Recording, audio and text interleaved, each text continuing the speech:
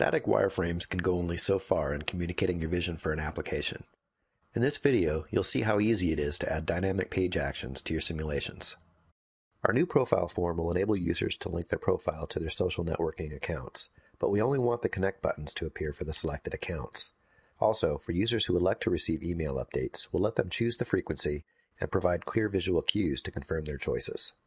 First, we need to set the default visibility of the content we'll reveal dynamically by control-clicking to select the connect buttons and the frequency section, and then selecting the hidden checkbox in the properties panel. Now let's add the page actions that we'll use to reveal this content. When we drag an action widget to the canvas, the Set Page Action dialog opens. For this action, we'll stick with the default type on the left, as well as the desired behavior on the top. We'll apply the action to the first Connect button and click Done to create the action. For easy identification, we'll add a label to the Toggle Widgets action by typing it into the Properties panel.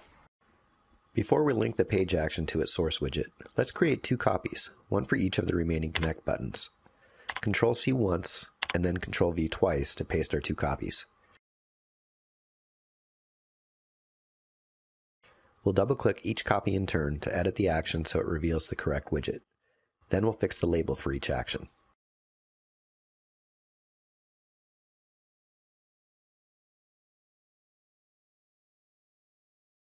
With our Canvas widgets created, now we can link the source widgets with the actions.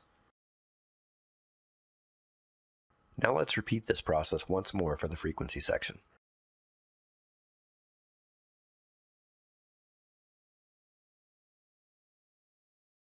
Before moving on, let's test our first set of interactions. Clicking each checkbox reveals the hidden content just as we planned.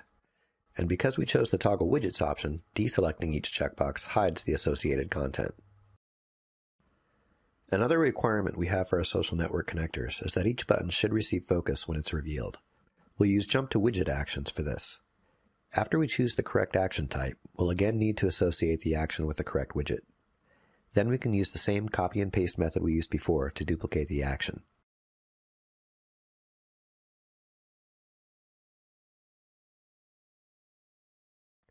Connecting the toggle widgets actions to the jump to widget actions, change them together so they are triggered by a single user interaction. In the frequency section, we'll provide two indicators to confirm the user's choice. First, let's add a text message using an edit user inputs action.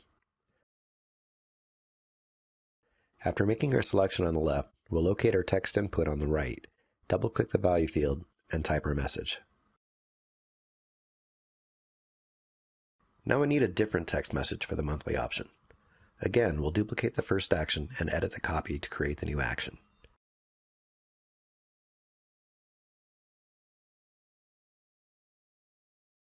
Now we'll associate the actions with the corresponding radio buttons. Finally, let's change some formatting in the text input widget. For the visual reference, we'll start out by adding a section widget. We'll give it a width of 200 pixels and apply a contrasting background color. Now let's add two Edit Properties actions to change the size of the bar dynamically. The first will resize the section to its original width. The second will resize the section to a width of 50 pixels. We'll keep the default setting to animate the change in size. Finally, we can connect each action to the corresponding Edit User Inputs action. Let's test our new interactions.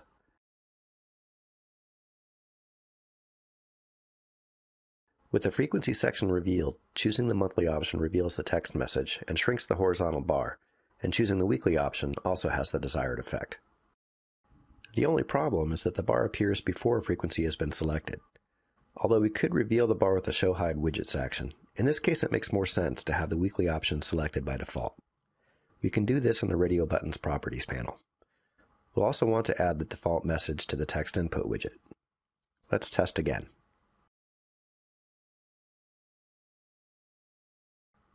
That's what we're after. We've only scratched the surface here of all the dynamic page actions you can add to your simulations, but hopefully this video helped you understand the basic mechanics. Since there is practically no limit to the interactions you can visualize in iRise, we also hope we sparked your creativity. Thanks for watching.